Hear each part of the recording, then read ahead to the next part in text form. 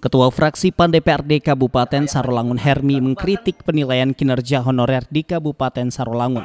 Dia menyebutkan pemerintah daerah Sarolangun tebang pilih dalam melakukan penilaian kinerja, sehingga mengakibatkan adanya tindakan kriminalisasi terhadap honorer. Hermi mengungkapkan perpanjangan honorer baru yang dilakukan oleh pemerintah daerah pada bulan April juga sangat merugikan para honorer yang ada. Pasalnya jika tidak diperpanjang maka honorer tersebut tidak menerima gaji sejak bulan Januari namun tetap bekerja.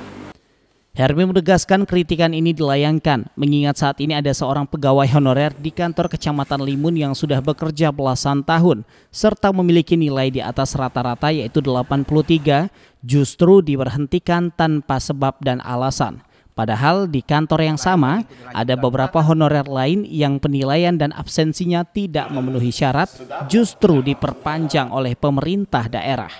Hermi menambahkan, jika ingin melakukan evaluasi secara jujur, maka ada banyak honorer yang tidak diperpanjang. Untuk itu dirinya meminta pemerintah daerah Sarolangun dapat menyikapi permasalahan ini secepatnya. Karena dirinya tidak ingin pemerintah menzolimi para honorer yang seyokianya adalah aset pemerintah daerah banyaklah tenaga kerja tenaga honor di daerah ini yang tidak layak lagi untuk dilanjutkan. Bahkan pegawai negeri pun. Hmm. tapi kenapa orang-orang tertentu diperlakukan? Sementara nilainya skor dia melebihi dari 70% tadi. Saya punya data kalau kita mau saya punya. Nah saya minta dengan pemerintah Serangun supaya masalah ini diselesaikan. Kenapa? Karena mereka itu adalah aset kita sumber daya manusia Kabupaten Serangun generasi kita ke depan. Dan orang-orang inilah yang bangun Serangun Jangan kita menzolimi orang yang lemah. Ingat, azab Tuhan itu pedih. Surya Abadi, Jambi TV.